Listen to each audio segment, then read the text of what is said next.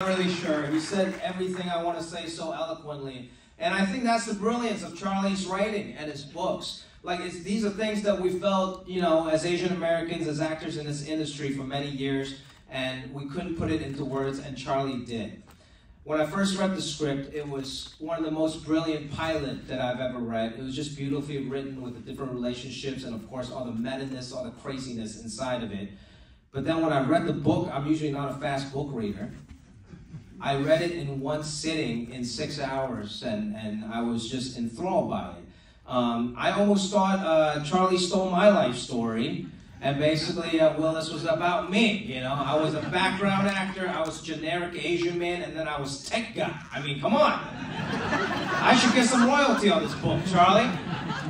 But I think once again that's the brilliance and the genius of Charlie's writing. You know, the story wasn't about me, but it's about all of us and we felt related to it as if it was about us. And, and that's what's so great about the Willis character.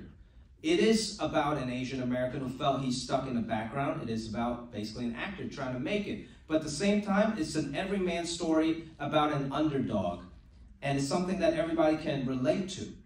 And the show with everyone, with the cast and crew, with Taika Waititi, is just entertaining and fun and action packed. And at the same time, I, I get to kick some ass, but I get my ass kicked also. Uh, and it's funny, you know, and it's heartfelt.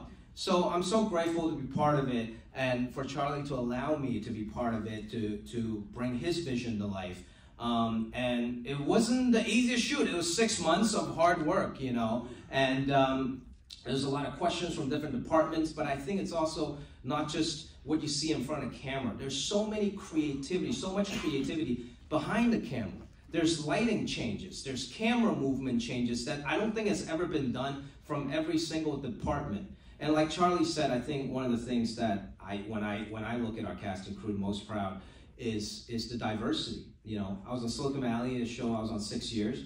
I saw one minority in the sound department. That's it in the crew, um, and that's how the landscape was for a lot of shows. But for us, are the head of a lot of our departments were Asian American and we're diverse. You know, our hair and makeup team, um, like so so many just people. Like like you see 50% of people, and, and and one of the facts I don't know if you guys know this. You know, talk about background characters. I get to play a background character and fill his life with a story, but at the same time, we our first AD told me that we upgraded 15 different background characters to a day player role in SAG hmm. and some of them gave us SAG hmm. And I think that's the opportunities we want to create and really talk about and highlight. So thank you, Charlie. Thank you, Hulu. Thank you, Taika. Thank you for everyone here. Let's enjoy the show. Thank you very much.